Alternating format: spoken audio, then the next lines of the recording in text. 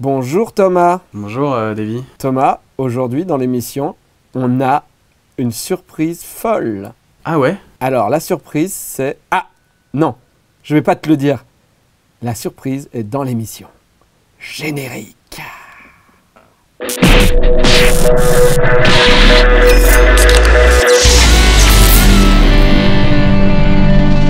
La news vous est présentée par la brosse à gland, car il n'y a pas que l'hygiène bucco-dentaire qui est importante. La brosse à gland. Merci beaucoup Ariel. Bonjour Thomas. Bonjour Davy. Ça va? Bah ouais, mais pourquoi t'es pas comme tout Pas- à l'heure? Comme tout à l'heure? Ouais. Je ne vois pas de quoi tu parles. Bonjour mesdames, messieurs, transgenres, sans genre, mauvais genre, tatoués, pas tatoués, avec le coronavirus. Pas le coronavirus Bienvenue dans Bad News. Bad News, c'est l'émission de l'autre actualité. On n'est pas là forcément pour rire, mais on est là pour faire un état des lieux de l'humanité. Croyez-moi, on est une belle brochette de cons. Je vous rappelle que Bad News ne vérifie pas ses sources. Et ça, ça va être jusqu'à la fin de ma vie. J'ai pas envie de m'emmerder. Euh, Aujourd'hui, on commence tout de suite avec En bref, de Louise. C'est une jeune fille, c'est rare des jeunes filles qui nous envoient des bad news, qui nous envoient une bad news, et en plus, elle a fait des commentaires. Alors, Et alors, je vais les garder. elle s'est permis euh, Ouais, c'est des bien des petites petits commentaires sympas, donc je vais les garder. Une jeune fille qui vit dans le nord de la France a lu sur internet que s'insérer un œuf cuit dur dans la boîte à secret, c'est ce qu'elle dit, hein, procurait énormément de sensations. Un jour, elle décide d'essayer.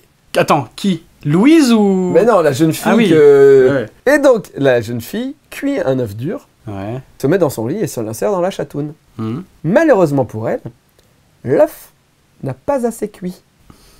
Il est encore liquide à l'intérieur.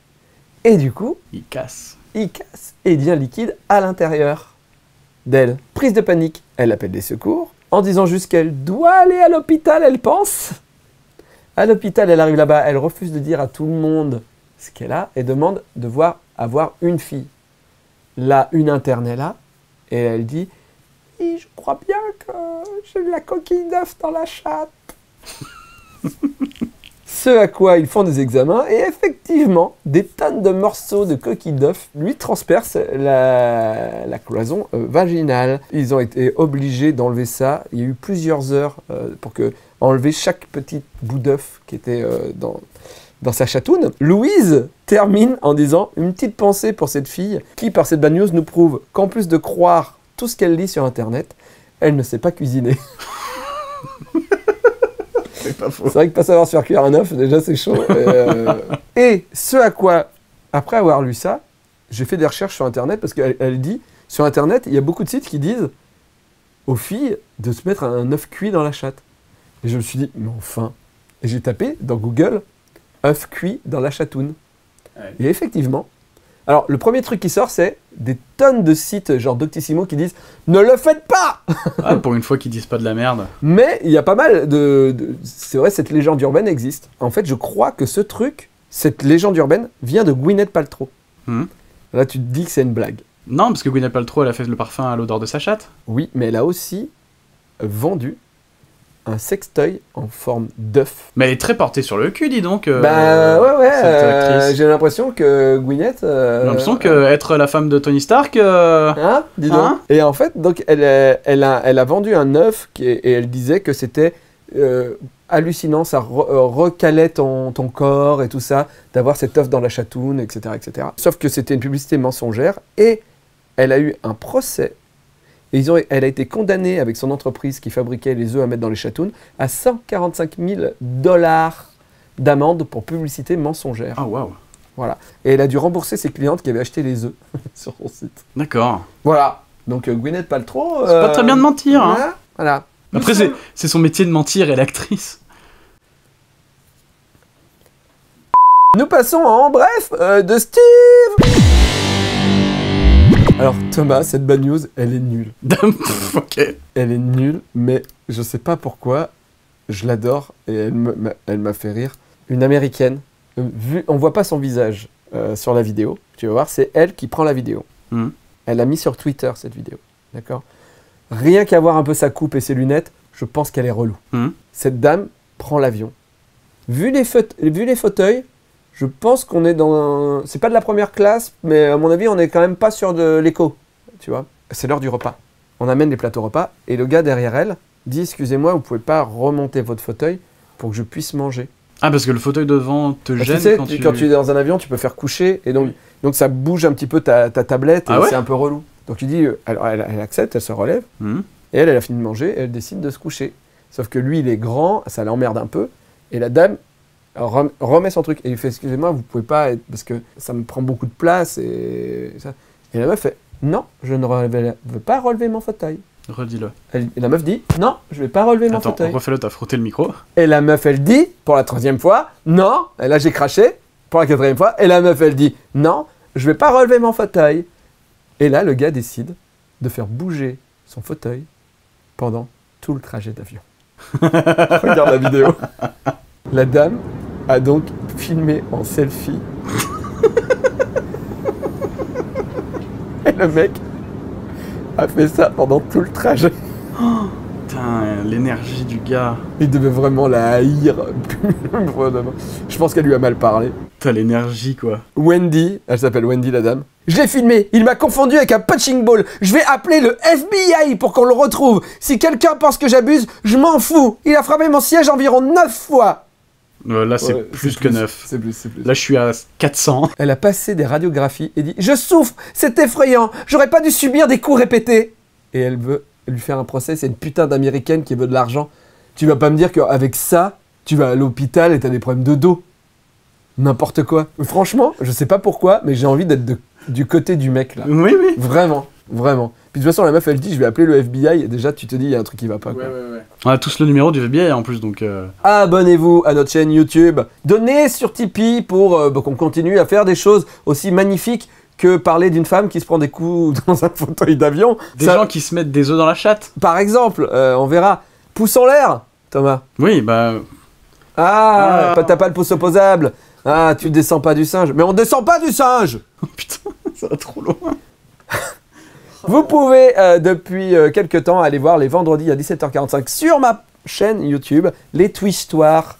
Voilà, allez voir, ça me fera du plaisir. Et surtout, mettez des commentaires et donnez des idées de thèmes pour mes prochains Twitch, c'est tous les lundis, où je vais inventer une histoire. On termine euh, avec euh, les bad news avant de passer à notre surprise. Ah, J'espère waouh. que les gens vont être surpris. Ah oui, moi aussi, hein, Ouais. parce que je ne sais toujours pas. Ouais.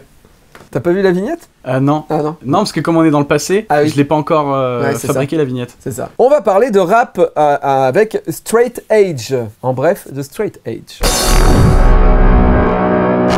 Le rappeur Young QC, de son vrai nom Kuman Wilson, a comparu euh, devant une cour de justice aux États-Unis pour avoir. Qu'a-t-il fait, Thomas? Est-ce qu'il a mis quelque chose dans la chatoune de quelqu'un ou dans l'anus de quelqu'un? Non, Est-ce qu'il a vendu quelque chose? Non. Je sais pas, Davy.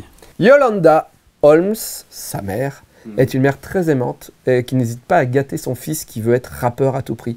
Elle lui a même acheté des vêtements de luxe et même des bijoux et offert une Ford Mustang.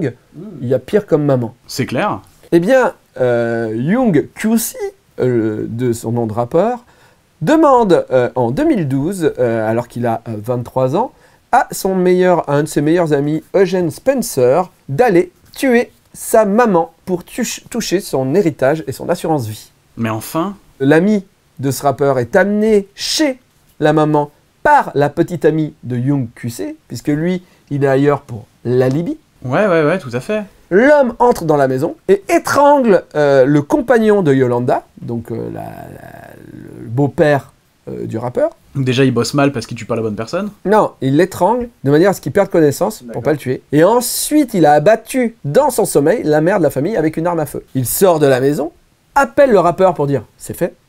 Là, Young QC dit non, non, je veux être sûr, retourne-y. Le mec retourne dans la maison pour s'assurer que la maman est bien morte.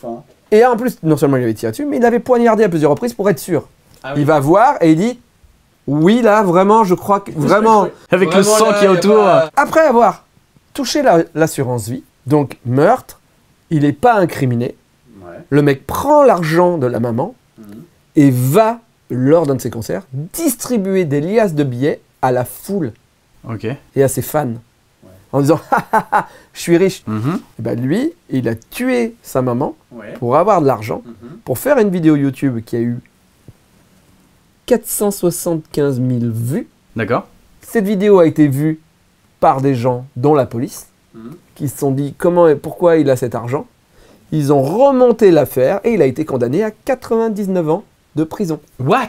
Et son ami, Eugène, le tueur, a 100 ans de prison. Pourquoi ils, ils se font chier à mettre un nombre d'années euh, Bah, à perpétuité, quoi. Ouais, ouais. Mais ça se trouve, il a à 99 ans, il est pas mort. Il sort. Non, non, parce que 99 ans plus son âge. hein. Bah, ça se trouve à 100, 130, euh, 130 ans, il est pas mort. Il, il sort. Pour un an ou deux, quoi. Je vais me relancer dans la musique. On regarde le journal d'Encucul à ses sectes de Rob.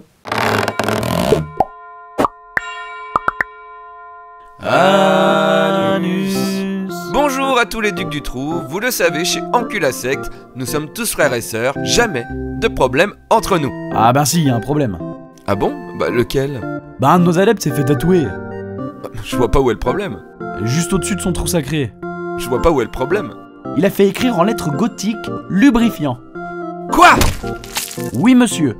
Non mais on s'appelle Secte Ancula Secte C'est pas la fête du lube Du coup je le vire? Mais carrément Donc je disais, chez nous, on aime tout le monde, anus à tous Anus. Merci beaucoup, Rob. Il est l'heure de passer. Attends. Tu l'as pas Non, non, si, si, je l'ai, mais il est l'heure de donner la carte postale à Thomas. Oh putain Thomas, j'ai dédicacé à Besançon Ok. et quelqu'un euh, m'a donné une carte postale pour toi. Sans rancune, Thomas, un bisontin, c'est quelqu'un qui me connaît? C'est parce que t'as détesté leur ville. Oui. Et donc, tous, ils m'ont dit Thomas a détesté notre ville, là, là, là, ils étaient un peu tristes que t'as fait Je l'ai dit ton quand école de fromage dans un bad news. Ah ouais?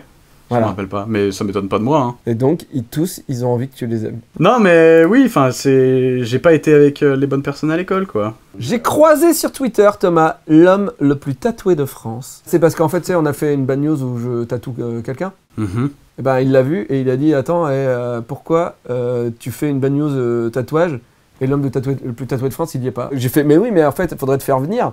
Et puis surtout, je me suis dit, moi, en me disant qu'on allait le faire venir, ce mec, je me suis dit Mais qu'est-ce qui prouve qu'il est le plus tatoué de France? Donc aujourd'hui, dans Bad News, On va vérifier. on va vérifier nos sources et on va prouver qu'il est peut-être pas l'homme le plus tatoué de France.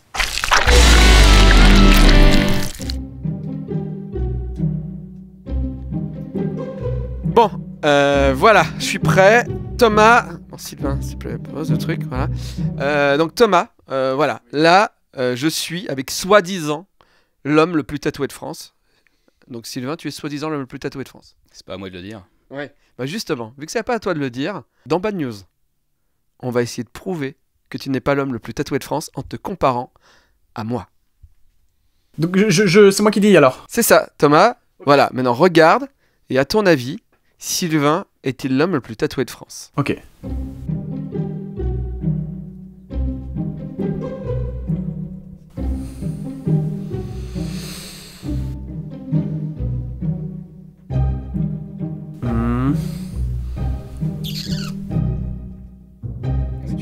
C'est marrant, tu fais des trucs de muscu alors que... Euh, je- je, alors, c'est vachement bien, euh, Davy.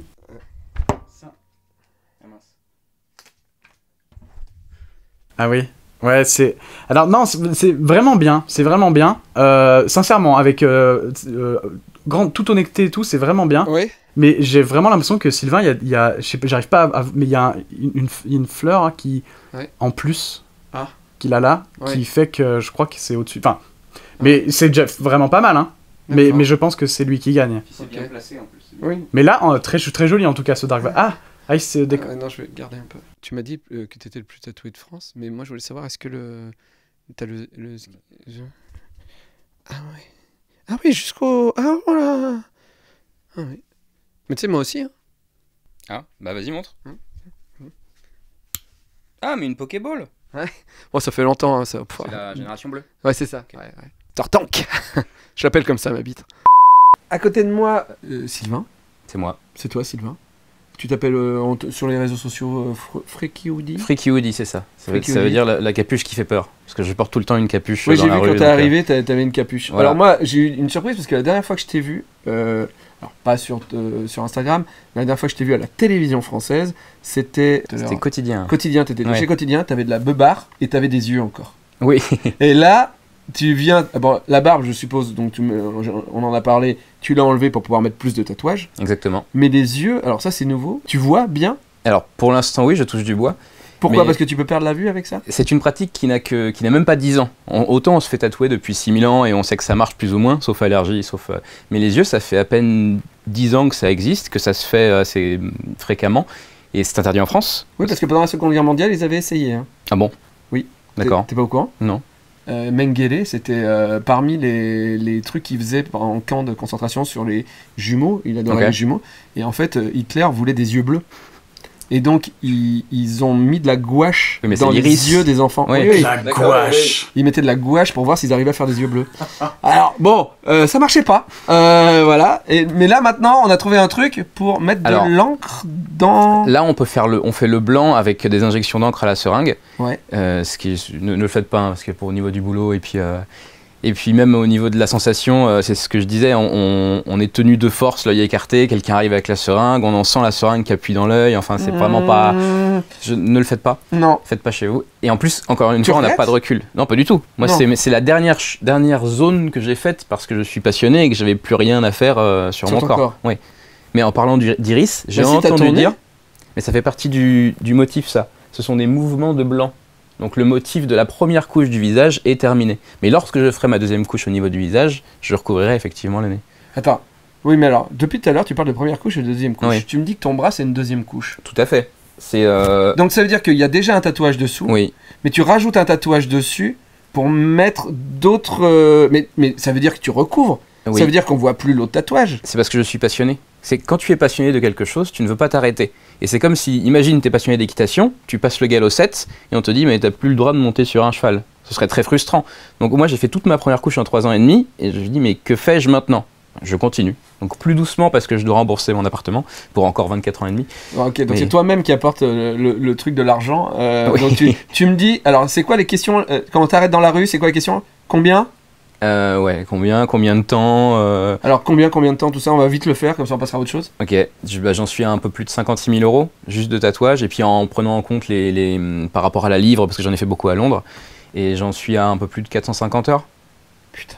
uniquement de, de tatouage. euh, Mais tu joues à la Game Boy en même temps ou pas? Non, je respire, Je, Pour pas avoir. je souffle, je, je médite à moitié. Mais c'est quoi qui te fait plaisir? C'est d'avoir le tatouage ou te faire tatouer? Non, se faire tatouer, c'est horrible. Ah, Et en plus, c'est de pire en pire. Les gens pensent qu'on s'habitue, mais plus on en fait, et plus c'est douloureux. Parce que le corps en a juste marre. Au début, je faisais des séances toutes les deux semaines, je faisais 6 heures toutes les deux semaines, etc.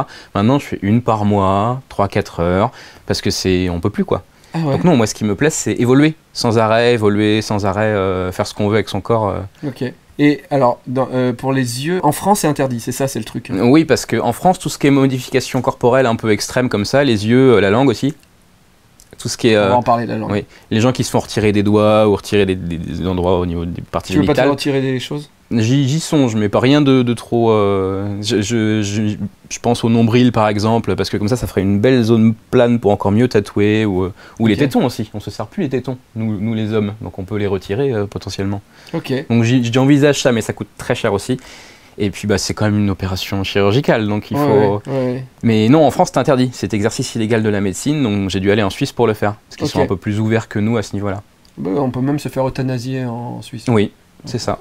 Alors, pour ce qui n'est pas trop de rapport, mais voilà. Alors la langue, ça tu l'as fait en Suisse? Aussi. aussi. Ouais. Donc ta langue est bleue. Moi je lui disais qu'il y avait Noir, des chewing-gums euh, noir, pardon. Noir. Ah oui, pardon. ouais. Mais c'est juste que ça, on peut pas tatouer la langue avec un dermographe, une machine, euh, Ouais. ça, ça vieillit très très vite. Donc il faut injecter directement des, de l'encre à la seringue euh, dans la langue. Et Donc alors?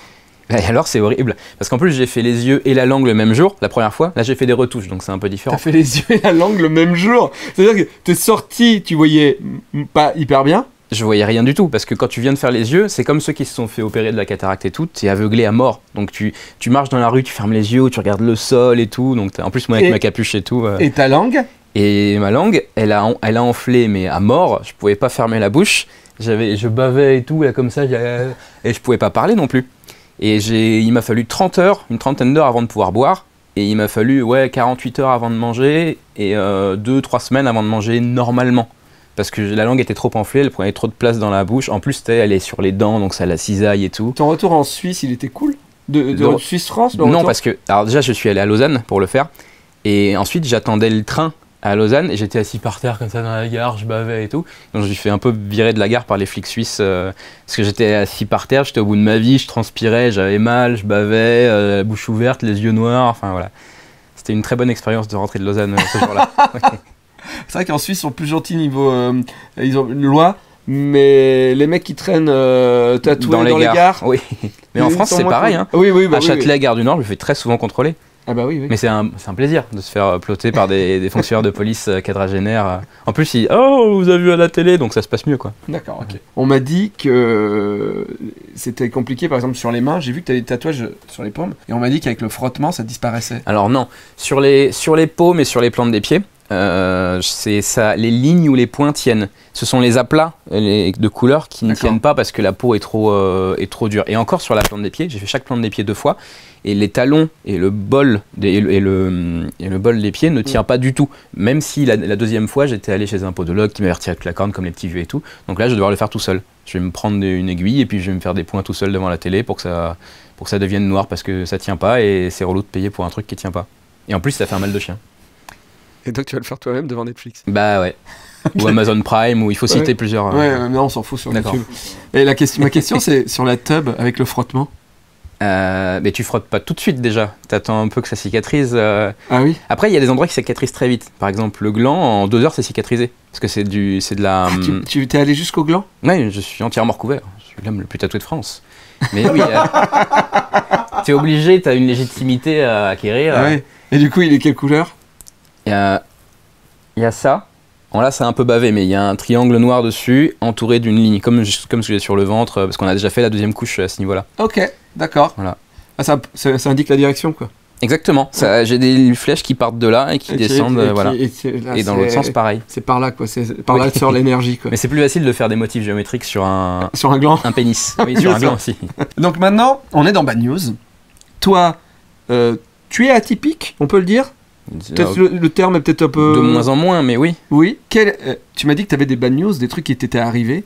Alors déjà, bon, tu l'as dit 100 milliards de fois à la télévision, mais c'est quand même, il faut quand même qu'on le dise dans bad news pour les gens qui ne le savent peut-être pas. Tu es maître des écoles.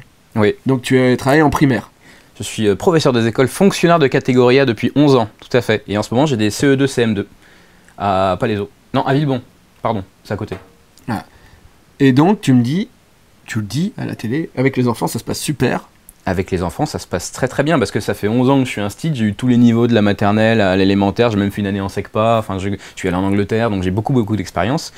Les enfants que j'ai à l'école, ça va très très bien. Le problème, c'est les enfants qui me croisent une fois dans la cour, qui vont raconter ça à leurs grands-parents ou à leurs parents, des parents un peu véhéments, qui vont se fendre d'une lettre à l'inspection, et c'est à ce niveau-là que ça peut coincer par moment. Tu t'es fait virer plusieurs fois? Alors pas viré, je suis fonctionnaire moi, donc... euh, Donc tu t'es fait changer d'endroit plusieurs fois? Dis- disons que oui, il y a deux trois écoles dans lesquelles je ne suis plus bienvenu parce que des parents m'ont croisé. J'ai même pas eu leur enfant en classe, hein, c'est juste qu'ils m'ont croisé et ils ont fait une lettre. C'est un enseignant radicalisé. Ils ont mis des photos de moi nu qu'ils avaient trouvées sur internet, ce qui est tout à fait. euh, Attends, attends, radicalisé dans quoi? Mais je sais pas, c'est le terme qui était utilisé dans la lettre. Ah bon, d'accord. radicalisé. Dans le tatouage.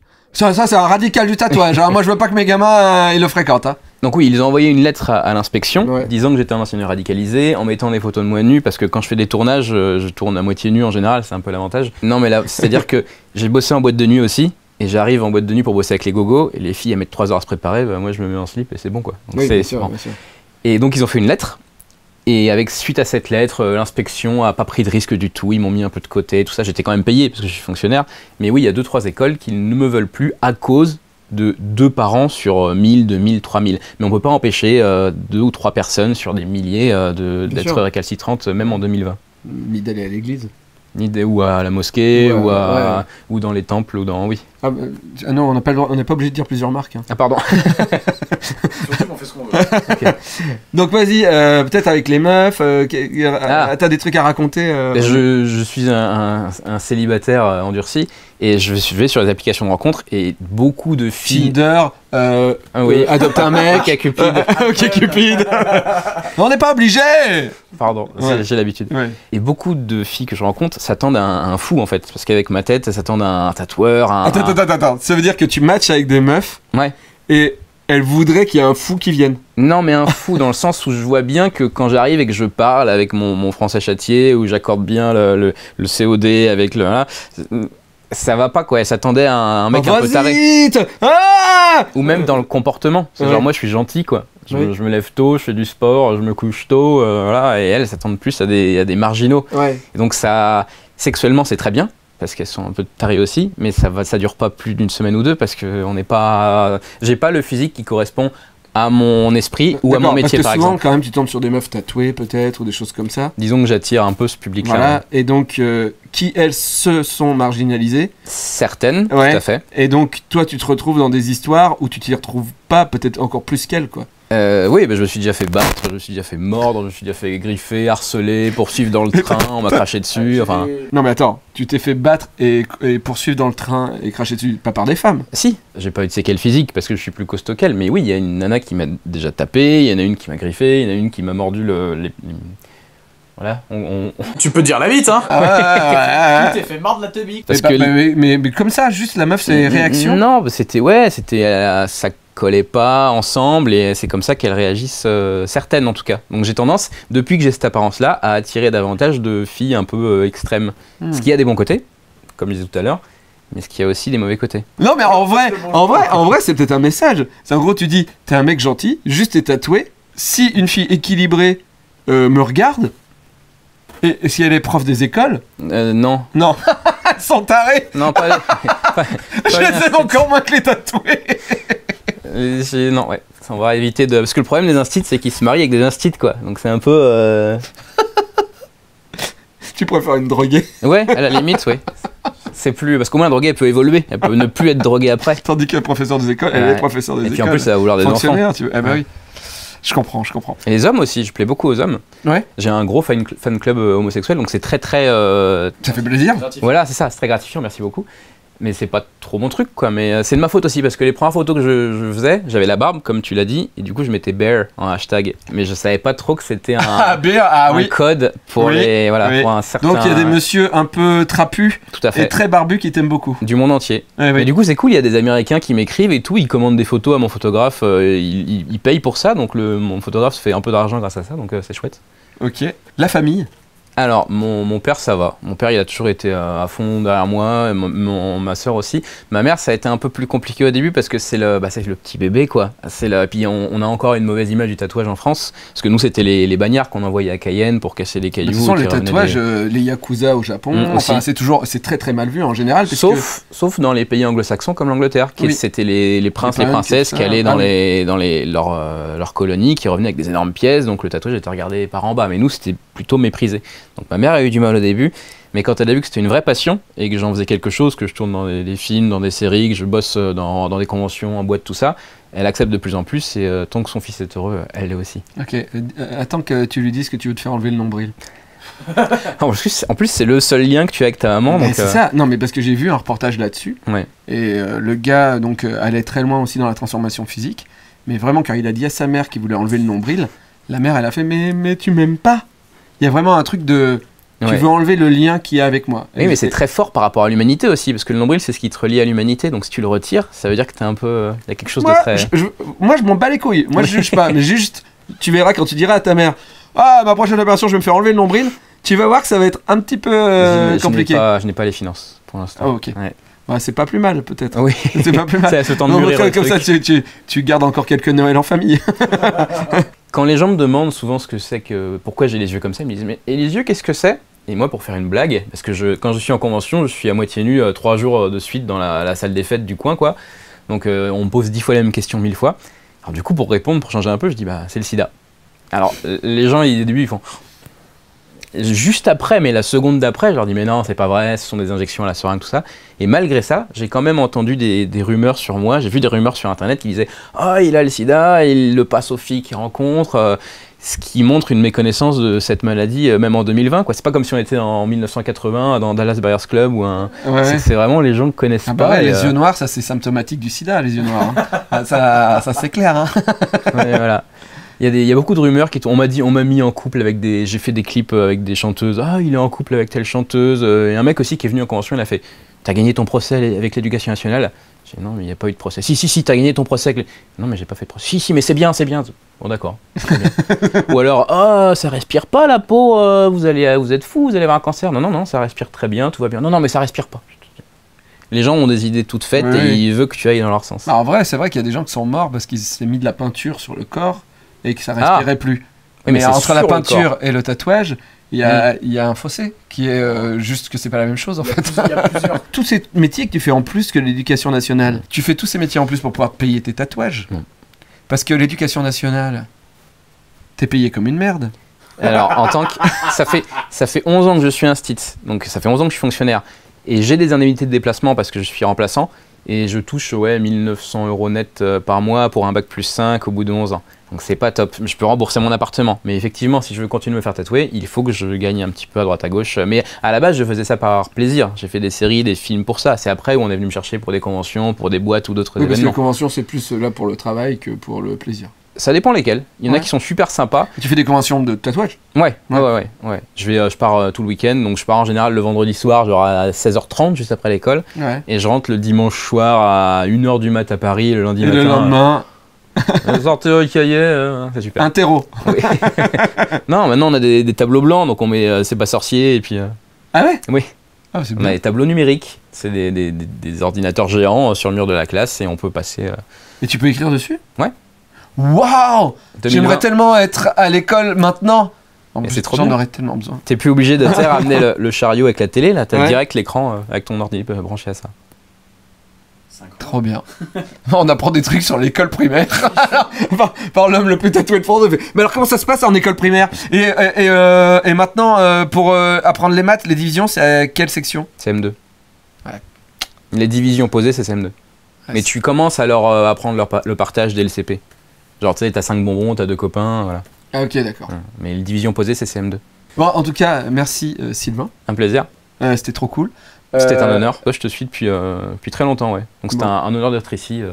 ah, maintenant, tu Merci, sais où, Bad News, tu merci, sais où Thomas. Bah, avec plaisir. Bon, euh, merci beaucoup. Euh, Bad News, c'est terminé. Rendez-vous la semaine prochaine pour le Bad News 1er avril, où il y aura dans mon émission mon meilleur ami, Bruce Willis. Mais arrête Mais si. Oui. Ça m'énerve. Ça m'énerve qu'on me croit pas. Ouais, non, mais ok. En tout cas, je suis très heureux d'avoir vu ta bite. Eh bien, euh, je suis très heureux de te le remontrer. Je me sais que je me suis rasé les jambes ce matin juste pour toi. Tu es pas la première personne à me le dire. Ah, à bientôt. Eh oui. Ça n'en finit jamais.